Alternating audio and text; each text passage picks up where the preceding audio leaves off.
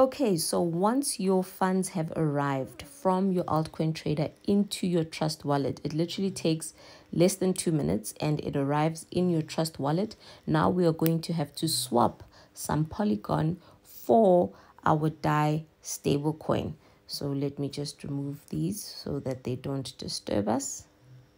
Right, so we have Polygon, we, it's our Matic from Altcoin Trader, and we now want to convert some of that, swap some of that for the DAI stablecoin.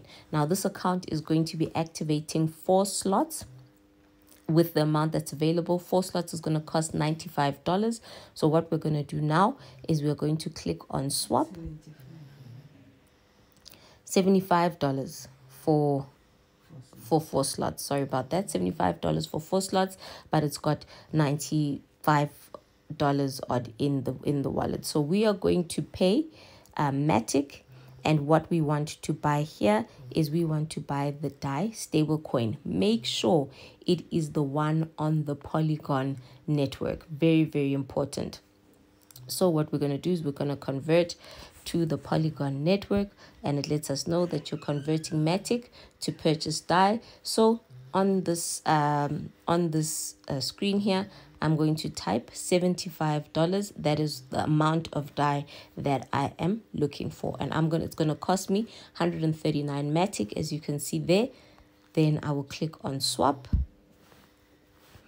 then I have to confirm and it lets me know that there's 2% slippage. So basically that means there might be some extra fees. If you have a look there, I'm actually, I might receive 74.9 DAI. So always try and add an extra dollar or two on this amount here to make sure that you will have enough. So let's make it 76. Swap that then we can see we will have at least 75 DAI, which is what we require. The rest will be in Matic to take care of the gas or transactional fees. We are confirming that processing it will take a few minutes and then we are done. So there we go, it's done and those funds will then be converted.